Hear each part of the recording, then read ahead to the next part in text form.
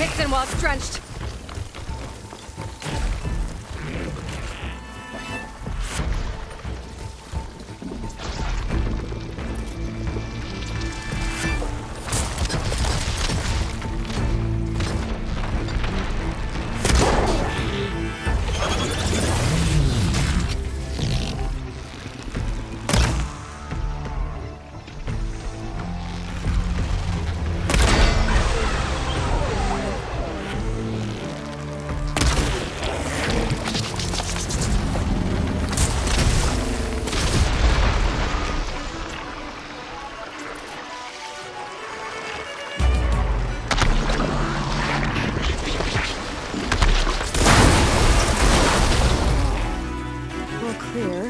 Doesn't look like there's much here.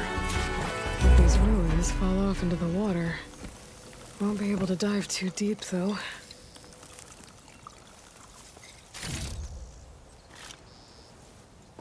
I should take a look at the ruins under the water. See if I can find any clues.